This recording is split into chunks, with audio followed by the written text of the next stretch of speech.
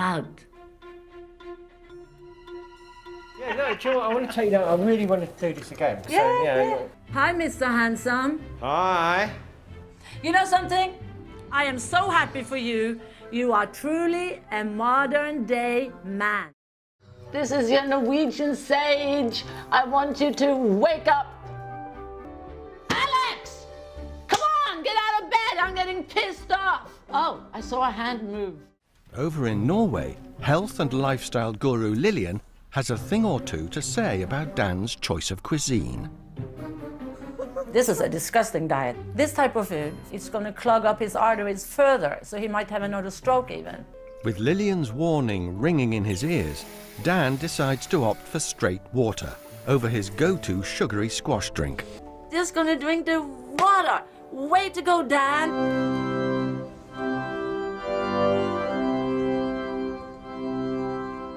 Oh, this dress is beyond gorgeous. Oh my God. She looks so happy. And Dan looks so happy. Excuse me. I'm so happy with them. Lauren is not going to be cleaning that toilet anymore. She's now a successful in charge person. She's taken the advice. Pumped up this place. She really has pumped up. Hi, Lauren. Have you seen the people inside? Yes. Oh my God. We're talking like I cannot believe this place is jumping. I'm a Scandinavian. Altså de folkene som satt ut fra disse strendene over Nordsjøen til det vi i dag kjenner til som England, gikk under, men kom iallfall til å bli husket under fellesbetegnelsen angelsakser. Veganerrestaurant. Visste dere at det er veldig mye protein i brokkoli? One apple a day keeps the doctor away.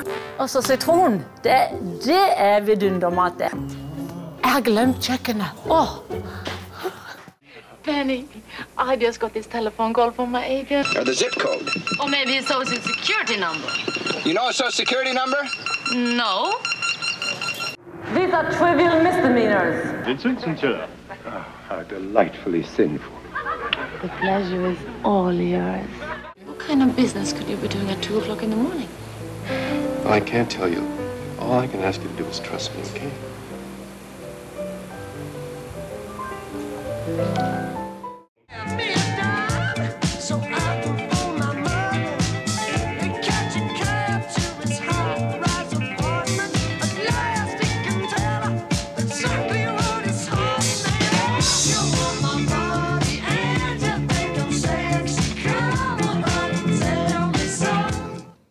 Made a big impression then, as she does now. And she doesn't look too much different either.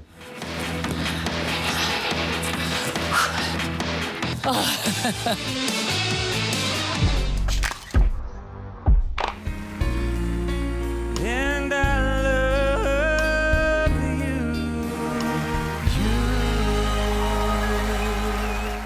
Lillian Müller, alle sammen.